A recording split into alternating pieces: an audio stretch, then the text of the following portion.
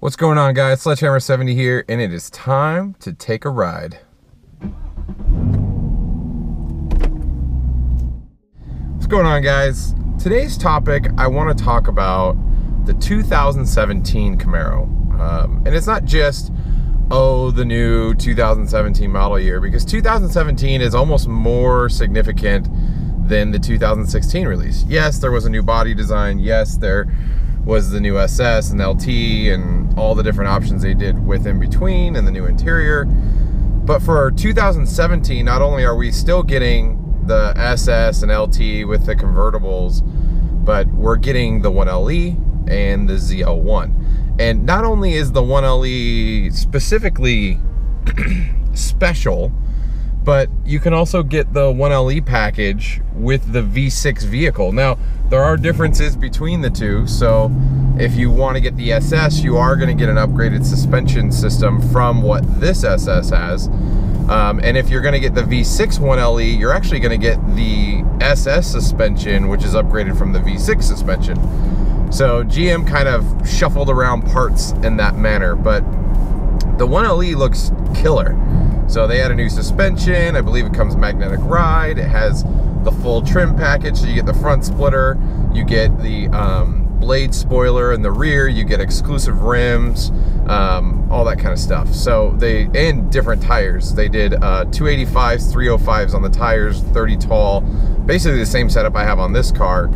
And it's supposed to be a better track car. So I think a lot of people are still waiting for the results on the 1LE, but not only that, um, the ZL1. Now, the new ZL1 is kind of a beast. Now, not only is it borrowing again the motor from the Corvette Z06, well, our car borrows from the, the Stingray, so they're just carrying it out. Um, makes it a little easier on them. It has a little less horsepower than the Corvette, you know, big brother rules. But the one thing that it does have, and that GM has been very big to promote and drive, is their brand new 10-speed automatic. And word on the street is, is it's the fastest shifting automatic that exists um, on the planet.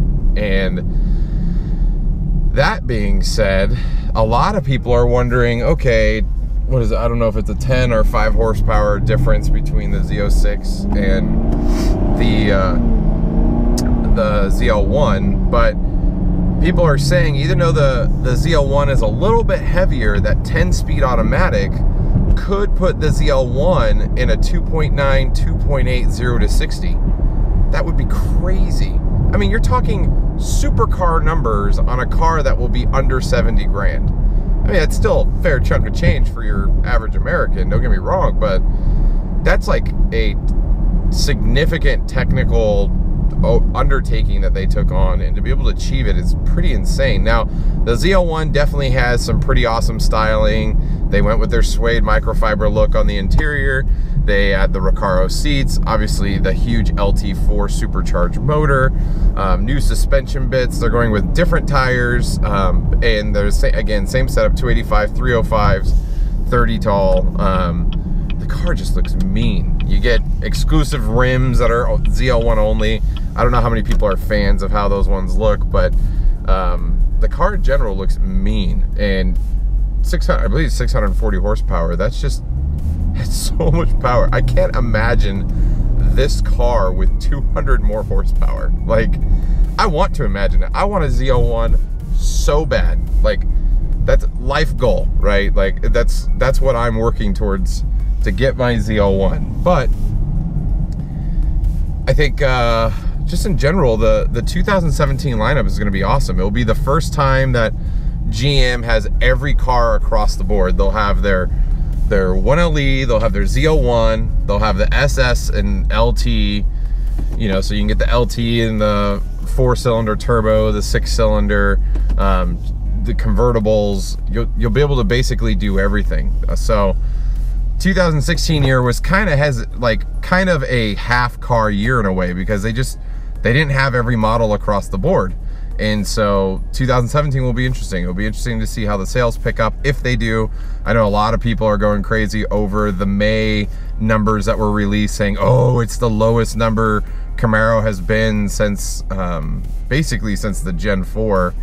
Uh, but it's, you know, I looked at a lot of the numbers across the board and it looks like GM's down, Ford's down, Dodge's down. No one's doing perfect everywhere. Now, I'm not trying to make a case for GM saying that, you know, it's okay that they're not selling a lot of cars. They probably should have heavier discounted a lot of cars across the board, but it will be interesting to see how the sales of Camaro change based on them rolling out a full lineup. So having every car in their arsenal finally available. I know I, I've called and looked around at many dealers and most dealers just don't have many Camaros. I mean, my dealer locally has quite a few, but other dealers around, they have one or two, and even at that, they don't have all the different versions. It might be an SS, or it might be a base model LT. Like, they just don't have the options. So it'll be interesting to see as GM is able to catch up and get more cars out into the marketplace if that changes the sales at all. So let me know what you guys think. Are you guys, I know a lot of you guys have 16s. Are who, How many of you out there are sitting on the fence to see what the 17s and 18s?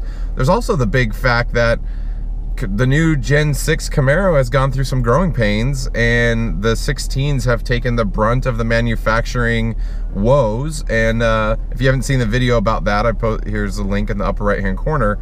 But um, you know, the 17 should be well-rounded, better Camaro, Gen 6 Camaros, in my opinion. Now, we'll see if that comes true. We'll see if there's any new issues introduced with the 17s. There's not really many options. I think they're introducing a teen mode for the drive modes. Um, and then also they discontinued one of the, the darker blue colors. So there's not a ton of changes coming to the car um, with the release, but we'll we'll see how they come out. People will start getting their 17 SS and LTs here pretty soon. Manufacturing's already started on those cars, and then hopefully we'll start seeing the 1LEs, the ZL1s, start coming around August, September timeframe. So time will tell. But as always, guys, thanks for watching the video. I love doing these drive-bys. I know I've been focusing and doing a lot of videos on car de detailing. It really hasn't been focusing a lot. I did a whole bunch of videos in one day, and I've just been slowly editing them all together. So thanks for hanging in there with me if you just don't care about that kind of content. But I'm gonna be back to these driving videos, and also just as a caveat, my work is gonna have me pretty busy over the next couple weeks.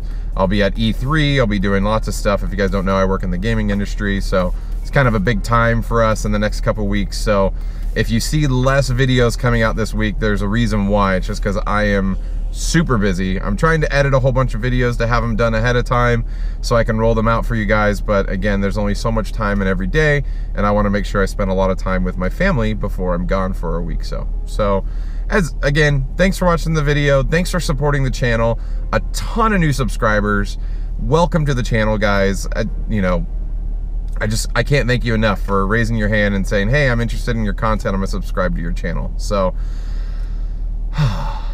I think I'll leave it at that. So I'm headed to a car show right now and hopefully I'll have some videos around that. And uh, until next time, guys, I will see you on the road.